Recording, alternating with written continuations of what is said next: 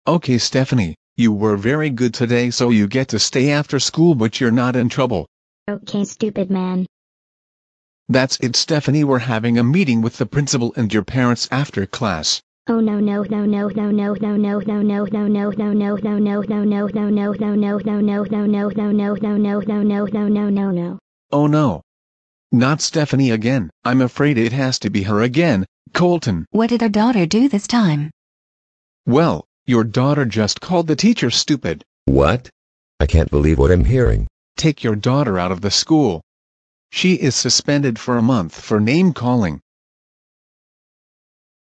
Stephanie we can't believe you called your teacher stupid and got suspended. That's it, you are grounded until your suspension expires, which is for a month. Go to your room now.